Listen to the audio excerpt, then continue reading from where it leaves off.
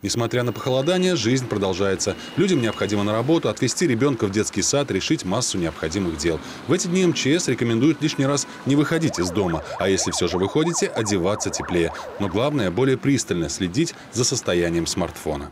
Как можно ну, чаще заряжать э, свой телефон, чтобы могли вовремя сообщить о том, что необходима помощь людям, так как э, по GPS-системам, по навигаторам э, можно это вычислить и прийти вовремя на помощь.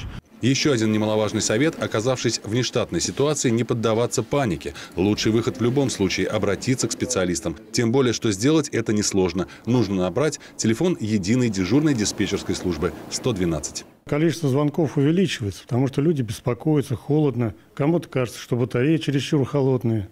Какие-то э, простые советы, которые необходимы в этих случаях. Если человек растерялся, наши операторы дадут. Если какая-то экстремальная ситуация, то опять же подключим службы МЧС, по АТП, ГИБДД района. Никого не оставим без помощи. Всем поможем.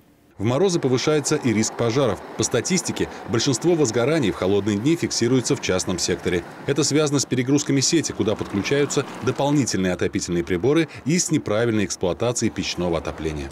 Не нужно э, превышать тот лимит, который предусмотрен э, электропроводкой, и превышать перегрузку электросетей, дабы не произошло короткого замыкания, не произошел пожар в связи с этим. Пользоваться э, отопительными, исправными отопительными и электронагревательными приборами э, с тепловой защитой. В эти дни также рекомендуется отказаться от поездок на автомобиле, особенно на большие расстояния. Если же ехать необходимо, нужно убедиться в исправности аккумулятора и запастись портативным отопительным прибором. Максим Козлов, Николай Карбанов, Елена Кошлева. Видное ТВ.